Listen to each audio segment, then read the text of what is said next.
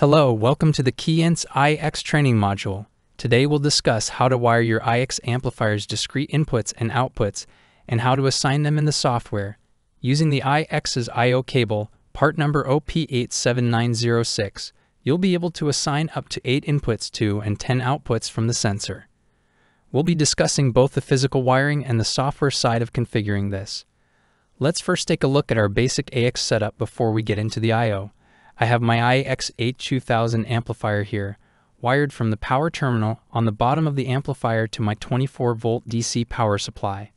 Please ensure whatever power supply you're using is rated to provide at least 0.8 amps of 24 volt DC power if you're using one amplifier or at least 1.9 amps if you're using a main and an expansion amplifier. To wire to power, we recommend using 16 to 18 AWG wires. In the field, you should wire the amplifier's ground terminal to a frame ground as well. However, we've skipped this step for this demonstration. Now let's look at our ribbon cable, which is composed of 8 input wires, 10 output wires, and 2 unused wires. You'll have to strip some insulation from these wires. I've pre-stripped the two wires we'll be using today. By default, your bottom brown wire, terminal A1, is assigned as your external trigger or timing input.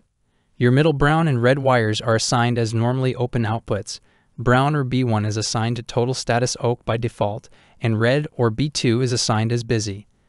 This means the brown B1 wire will send a signal when the sensor determines an OK judgment of part, and the red B2 wire will send a signal when the sensor is in the middle of determining its judgment. The full I.O. cable mapping is on screen here for reference. Please note that for your outputs, all of the default values can be changed.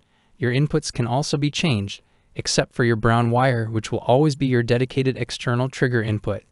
Now let's get to the actual wiring. We'll start by wiring one input to trigger the sensor. First, let's look at our wiring diagram. You'll see the way we wire our input will depend on if we select PNP or NPN for the sensor's polarity. This is done through the software in advanced settings under the NPN slash PNP tab. In this video, inputs and outputs will be wired in PNP style, which is most common in America, You'll see on our wiring diagram, the sensor on the left is wired to the 24V and 0VER power supply. This element represents our input device, which could be a PLC, photoeye, push button, or any device capable of sending a discrete signal.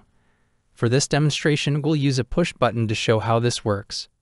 You'll see we have to wire our push button to the 24 volt terminal of the power supply that's powering the IX and to the input wire we'd like to use, We'll be using input 1, our bottom brown wire, to establish an external trigger, so I'll first wire my brown input 1 to my push button's positive wire.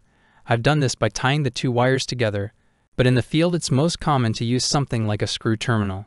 Next, we'll wire the negative wire of the push button to the 24 volt terminal of the power supply. We've now successfully completed the hardware setup of our input circuit. Now let's wire our output. You'll see in these wiring diagrams polarity also matters for our outputs. Again, we'll be wiring everything PNP for this demonstration. Wherever you send your output is referred to as your load in the wiring diagram. It will have to connect to your output wire and the 0 volt terminal of your power supply. Typically, you'll wire your output signal to a PLC, stack light, alarm, or any device that can accept a discrete signal. For this demonstration, we'll wire our output to a light, which will serve as our load. We'll first connect our brown output one wire from the I.O. cable to the positive wire of the light. Next, we'll wire the light's negative wire to the 0 volt of our power supply. That completes the hardware and wiring setup for our input and output.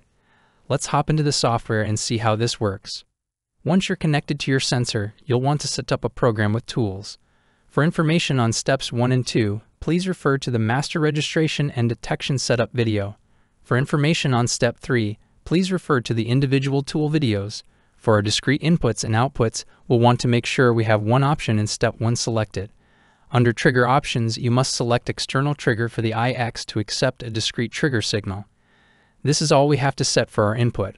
I've already set up my master image in my tools, so next we'll go through to step 4 where we'll assign our outputs.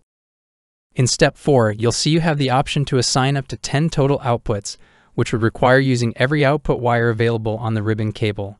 You'll also see that by default output 1 is set for total status OK, and output 2 is set for busy. If you click the first output drop-down, you can change the condition that will cause that output to turn on. You'll see you have several options for your output conditions. Selecting off will prevent the output from ever turning on. Selecting total status will turn the output on when the judgment is either OK or NG, depending on which you choose. Selecting the run output will turn the output on when the camera is in run mode. Selecting busy will turn the output on when the IX is busy or in the middle of processing. Error will output a signal when the sensor is in an error state. Alarm will output a signal when the sensor gets an alarm reading. The other options are all tools or logic, which will turn on the output when a specified tool or logic condition is OK or NG. For example, I can change my output 1 to tool 1. Now it will only turn on if tool 1 determines an OK judgment. In the second dropdown, you have the option to pick between OK and no good. With certain tools, like our height tool here, you'll also have the option to select high and low. Picking high means the output will only turn on if the measurement is higher than the set thresholds. Picking low means the output will only turn on if the measurement is lower than the set thresholds. By selecting NG, the output will turn on when the tool gives any no good reading. For now, I'll set my output 1 to total status OK because I want to send a signal to turn my light on when a part is good. In the extended functions, you have several options. First, you can set your total status conditions, which determine what conditions will turn on the total status output. By default, this is set to all tools OK, meaning all the tools in a program must have an OK reading for the sensor to give an OK judgment. Selecting any tool OK will turn on the total status OK output as long as at least one tool determines an OK reading. You can also select a logic for your total status condition, which means the total status will only be deemed OK if the selected logic conditions have been met. We'll discuss logic further in a moment. You also have options for trigger error and zero offset error. Enabling these means the error output will turn on in the event of a trigger or zero offset error. With these options disabled, the error output will not turn on if there is a trigger or zero offset error. By clicking Change on the Zero Offset Tools option, you can adjust which tools will be affected by a batch zero offset, a function that zeroes the readings on all tools. By turning off Tool 1, that tool would not be affected by a batch zero offset, you can also set your analog output here. For more details on this, please view the dedicated video for analog output.